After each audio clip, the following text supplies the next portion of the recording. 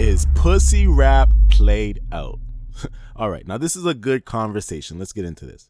So, multi platinum producer, Hitmaka, aka Young Berg, was dropping some gems on the TL, which actually sparked an interesting conversation for me. So, this is what he tweeted. He tweeted, I can't wait to work with a pretty female rapper that's strictly about bars to even the playing field. Pussy rap was cool when it had shock value and was rare. Now it's like every girl's taking it there. It's some who aren't, but they need a hit producer for impact. All right, so this is what stood out to me about this tweet. The part where he said pussy rap was cool when it had shock value and was rare. What I take from that is it's losing its shock value because it's not rare anymore.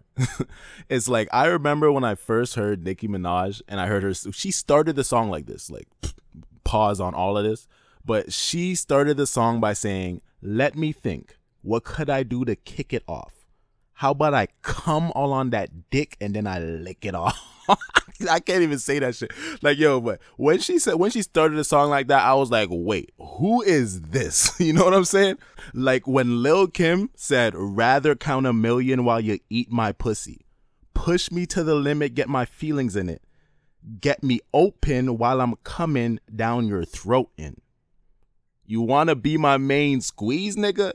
Don't you? You wanna lick between my knees, nigga? Yo, this shit, like when that shit when they first said this shit, I'm telling you, people couldn't even believe that this was recorded on a mic by a female. I'm telling you. Now we live in an over sexualized culture with very little to no sensory like it used to be. Like when there was radio and TV was our main consumption sources, we really it was hard for us to really see the shit that we'd be seeing on the internet, you know what I'm saying? And now there's like a sex positive like woman empowerment movement that really makes it okay to be like, yeah, I'm out here. like I'm doing what niggas do. There's the whole hot girl summer shit. And that, I think the hot girl summer shit, it made people like the City Girls and Saweetie and Meg the Stallion, like these are the faces for like a sex positive movement for women. And there's nothing wrong with that. I do believe that there's a lot of positive things that came from the sex positive movement for women. But honestly, I feel like it's becoming oversaturated and it has a very low ceiling because we don't really see female rappers especially that type of female rappers selling that high like they might have a good single here and there but they don't really get the highest numbers unless we're talking about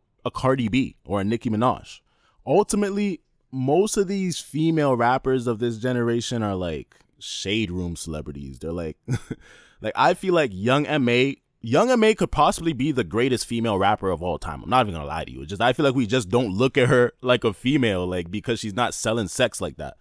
She's rapping with the niggas. She's rapping on that level. But if we want to keep it real, she could be up there for one of the best female rappers of all time. If we want to keep it buck with skill, but that that's a whole nother conversation.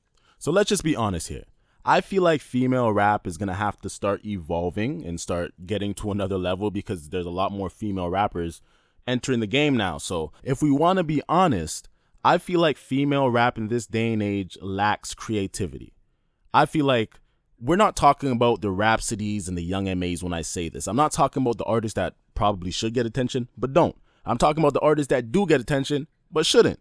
I would honestly love to learn more about these artists through their music besides the fact that they could shake their ass. Like, why can we never have a female artist that could give us a hit? Yeah, give us something that you could shake your ass to, but also give us something that's more introspective and something that's just a little bit more creative. And I understand that most dudes write for most women in this industry, but you need to tell those niggas to write something else. Because I don't understand why all Saweetie can do is just sample a song and redo a song that was already made and just look good. Like, I don't know.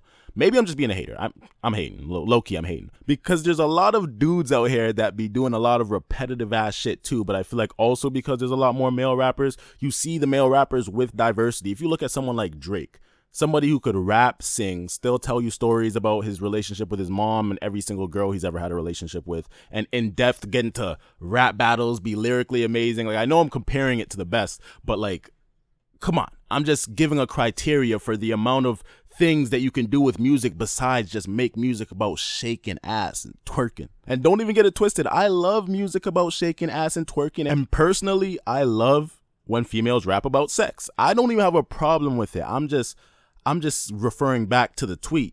pussy rap was cool when it had shock value and was rare. And I just feel like it's losing its rarity. It's getting kind of watered down, and we just need a little bit more if that's not too much to ask for. And I'm not saying that this is all female rappers, I'm just trying to put it towards the ones that apply.